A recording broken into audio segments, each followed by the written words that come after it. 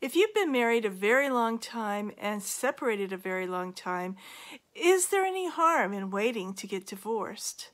My name is Laura Heard, and I'm an attorney who practices family law in San Antonio, Texas. And I see people every once in a while who come in who've been married, say, 20, 30 years, and they haven't even seen their spouse for the last 25 years. They've just been procrastinating getting divorced. The marriage was over a long, long time ago. What is the harm in waiting? Well, the harm in waiting is that all of that property that you've accumulated continues to be community property even though you're separated.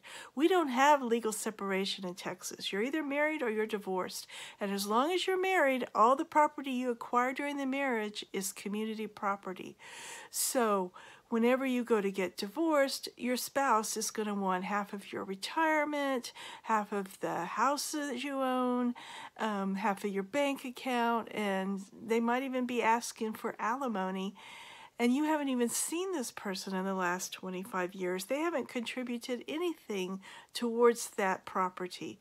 But the law says it's community property and they're entitled to a portion of it. So every day you delay getting divorced is a day you're losing property.